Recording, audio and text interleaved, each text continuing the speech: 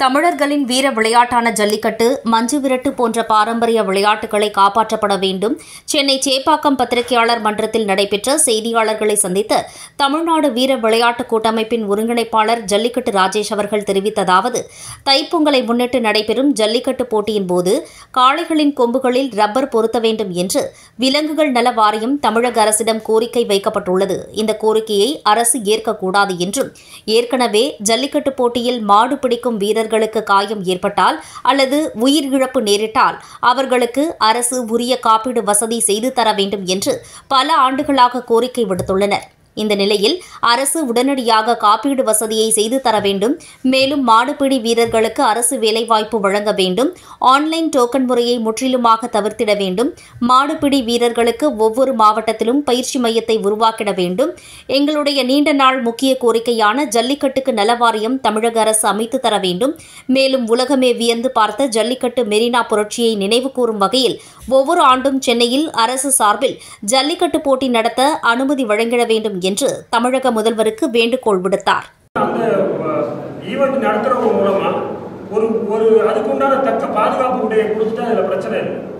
ஏன் சொல்கிறேன்னா இப்போ மா இது இந்த ஜல்லிக்கட்டை பொறுத்த வரைக்கும் பிரதானம் என்ன அப்படின்னா அதாவது வந்து இது திருவிழாக்களை பற்றி நடைபெறுகிறது இது நம்மளோட பாரம்பரியம் இதெல்லாம் தாண்டி இதில் ஒரே ஒரு மைய கருத்து என்ன அப்படின்னா ஜல்லிக்கட்டு காளைகள் மட்டும்தான். இந்த காளைகள் எல்லாம் அந்த ஜல்லிக்கட்டே இல்லை.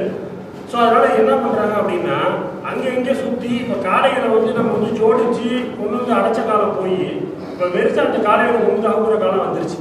இப்போ கடைசியாக எங்கே வந்துட்டாங்கன்னா கொம்புக்கு வந்துட்டாங்க. ஸோ கண்டிப்பான முறையில் இந்த கொண்டு கொம்புல வந்து இந்த ரப்பர் புஷ் வச்சு அடைக்கணும் அப்படிங்கிற இந்த விஷயத்தை வந்து உடனடியாக கைவிடணும். விலங்குகள் நல வாரியமும் தமிழ்நாடு அரசும் இதை பேசி பரிசீலனை பண்ணிட்டு இருக்கிறதா சொல்கிறாங்க நாங்கள் தமிழ்நாடு அரசுக்கு இது மூலமா ஒரு கோரிக்கையும் வைக்கிறோம். இது சம்பந்தமா முதலமைச்சர் அவர்களை சந்திக்கிறதுக்கு டைமும் கேட்டிருக்கோம். கண்டிப்பான முறையில் முதலமைச்சரை சந்திச்சு இந்த கோரிக்கையை வலியுறுத்துவோம். ஏன்னா இதுல வந்து ஒன்ஸ் இந்த கும்பலை வந்து ரப்பர் புஷ் வந்து வச்சுட்டாங்க அப்படின்னா இது வந்து ஒரு கும்பலாட்டம் மாதிரி ஆயிடும் யார் வேணா நீங்க நான் யார் நினைச்சாலும் அந்த மாட்டால ஒண்ணுமே செய்ய முடியாது. நான் என்ன குறைச்சுதான் ஆகும் கடிச்சுதான் ஆகும் அதுக்கு வாய கட்ட முடியாது. அது மாதிரி கொம்பு நாடுனா அதுக்கு அழகே அந்த கொம்பு தான் அந்த கொம்புல ஒன்றும் செய்யல அப்படின்னா முடிஞ்சு போச்சு சொன்னா நீங்க நீங்க எடுக்கிற சேஃப்டி மெஷரை ஜல்லிக்கட்டுல மாடுபிடி வீரர்களுக்கு கொடுங்க அப்படின்னு தான் நம்ம சொல்லணும். இதான் எங்களோட இந்த கோரிக்கை தான் முதல் பிரதான கோரிக்கை. இந்த மா இந்த மாடுபிடி வீரர்களுக்கு வந்து ஒவ்வொரு வருஷமும் மாடுபிடி வீரர்களுக்கு காயங்களும் இழப்பு ஏற்பட்டுட்டே இருக்கு.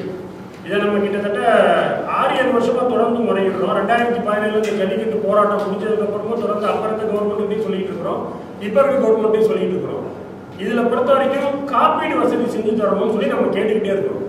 இதுல இந்த காப்பீடு வசதி செஞ்சு கொடுத்துட்டா எவ்வளோ குடும்பங்கள் இதுல பிழைக்கலாம்.